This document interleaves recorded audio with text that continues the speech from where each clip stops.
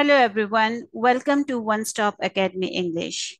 In this lesson, I will use the text from the official Ministry of Transportation Drivers Handbook to help you with the reading practice, learn new vocabulary, and at the same time, learn about driving in Ontario. So this one lesson is going to serve many purposes. So what I'm going to do is I will read the text first, then I will explain that text to you in simpler words. And after that, I will explain the difficult words in that text. Today is the lesson number one, and I'm going to read introduction for you. You can choose between two things. Either you pause the video and read it for yourself, or you can listen to me. So let's start. Introduction. Ontario is a road safety leader in Canada and North America. The Ministry of Transportation has introduced a range of measures to maintain this record and to improve the behavior of all drivers. Most collisions are caused by driver error or behaviors such as following too closely, speeding, failure to yield the right of way, improper turns, running red lights, and frequently changing lanes. There are also drivers who intentionally put others at risk through such reckless behavior. Statistics show that new drivers of all ages are far more likely than experienced drivers to be involved in serious or fatal collisions. Provincial campaign promoting the correct use of seat belts and child car seats and informing people about drinking and driving and aggressive driving are making a difference. Ontario's graduated licensing system, GLS, which lets new drivers gain skills and experience in low-risk environments is also helping to develop better, safer drivers. This handbook gives new drivers the basic information they need about learning to drive in Ontario, the rules of the road, safe driving practices, and how to get a license to drive a car, van, or small truck. The ministry recommends that all drivers would benefit from taking an advanced course in driver training. As you read, remember that this handbook is only a guide. For official descriptions of the laws, look in the Highway Traffic Act of Ontario and its regulations. Information on how to get licenses to drive other types of vehicles is available in Part 2 of this handbook, the official M MTO Motorcycle Handbook, the official MTO Truck Handbook, the official MTO Bus Handbook, and the official MTO Air Brake Handbook. Now, let me tell you in simple words what this text says. Basically, they are introducing the safe driving and the purpose of this driver's handbook.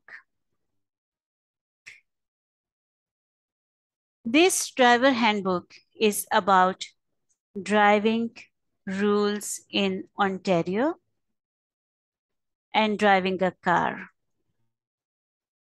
In this paragraph, they are telling us that why a lot of accidents happen. And the main reasons they tell us is driving too fast, not giving other people the way, not turning the car properly, not stopping on the red lights, or changing the lanes frequently or too often. So they're telling us that these things not only happen by mistake, but some people do it on purpose. But this can be dangerous because it can be it can result in a serious accident or it can also kill people.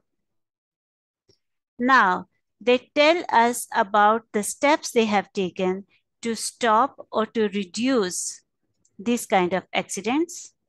So here they are telling us what they have done they are asking people to use seatbelts, child car seats, and educate people about not drink and drive. So, th- because these kind of things have improved or reduce improved safe driving or reduce the accidents. In this paragraph, they are telling us that what this handbook is about. It is giving information to new drivers so that they can learn the basic rules.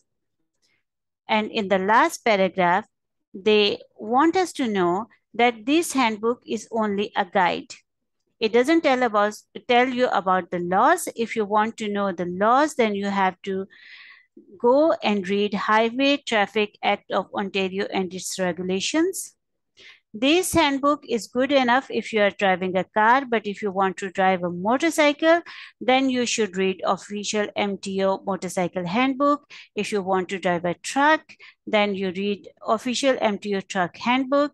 If you want to drive a bus, then you read official MTO bus handbook. And if you want to know more about air brake, then you go and read official MTO air brake handbook. Now let's look into some words which you might find hard to understand. So starting from here, um, let's look into the word range. When we say range, are we talking about one thing or we are talking about many things? We are talking about many things. Are we talking about those many things which are in a certain order? Like, you know, they go from step one, two, three, four, or they're random. They, when we use the word range, we talk about many things which are in order. So what is meant by the measures here? Measures. Is it about taking an action? Yes. Is the action taken to achieve a certain purpose or a result or a goal? Yes. So when we talk about a range of measures, we can say that it is the steps which are taken to achieve certain purpose. Now, error. Is it a good thing?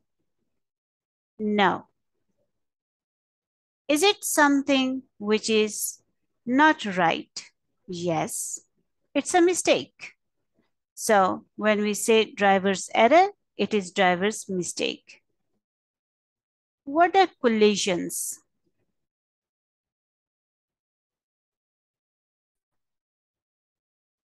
So when does the collision happen?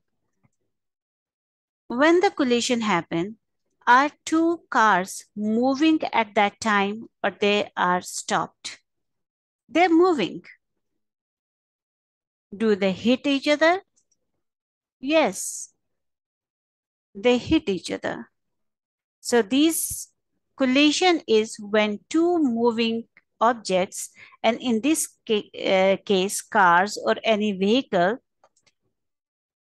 collide or hit each other or one another if it's more than two. And that hitting is damaging most of the time. So, or in simple words, you can say the accident as well. What is speeding? When we say speeding, is the car or any vehicle driving fast? Yes. Is it driving faster than it is allowed? Yes. Is it driving faster than it is safe? Yes. Failure to yield the way. Yield is giving.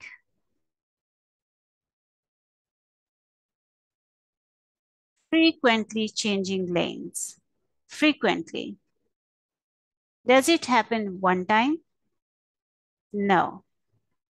Does it happen more than one time? Yes.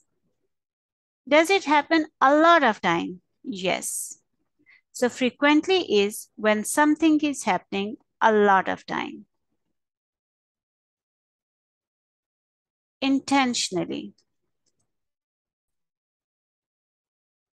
So when someone does something intentionally, does that person know what is happening? Yes. Does he have a control over it? Yes. Is he doing that on purpose? Yes. Reckless.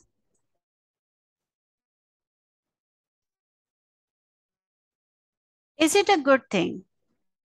No. Is the person careful here? Or is he caring about anything? No.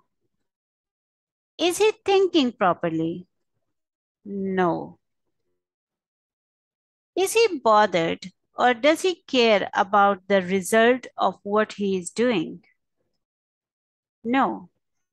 It's without thinking, without caring about the result of the action or the behavior in this case. Fatal.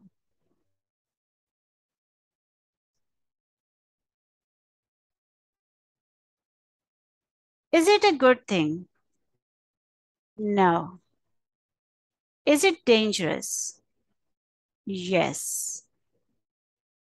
Will the person be alive after fatal collision? No.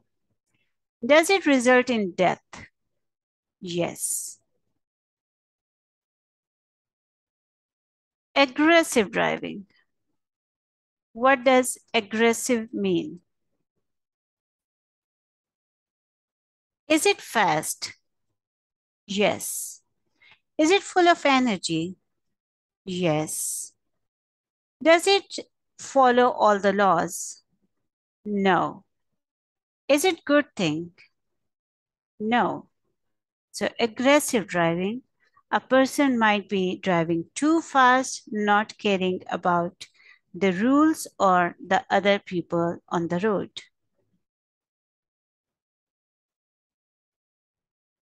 So let's look into some other words if there is something which might be difficult for some people. No. All the other words are pretty simple. If you found this lesson helpful, please let me know in the comment section. Or if there is a word in this text you don't understand, let, please let me know and I will explain that word by either answering your comment or by making another video. Please let me know how did you find this video. Your feedback is valuable. I really want to know if this lesson was helpful for you or not. If it was, then I will continue making um, videos like this. Otherwise, I will change in my method or my videos. Subscribe to the channel if you want to learn more about English uh, reading, vocabulary, pronunciation, listening, or speaking. Hope to see you again. Keep watching. Bye bye.